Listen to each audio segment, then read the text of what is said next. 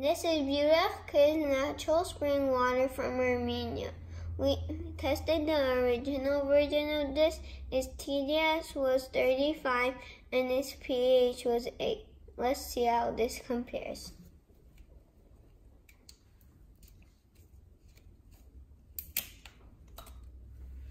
Let's pour some water in.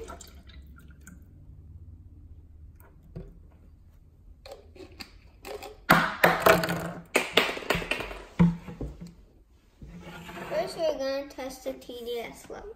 If you want to buy this TDS tester, check the link down below.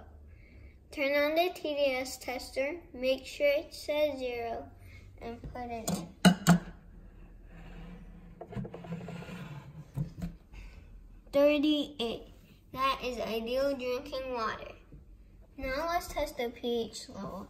If you want to buy this pH tester, check the link down below. Only do two drops.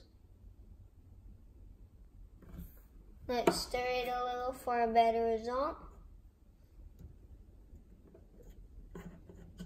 I give this an 8. This is alkaline water.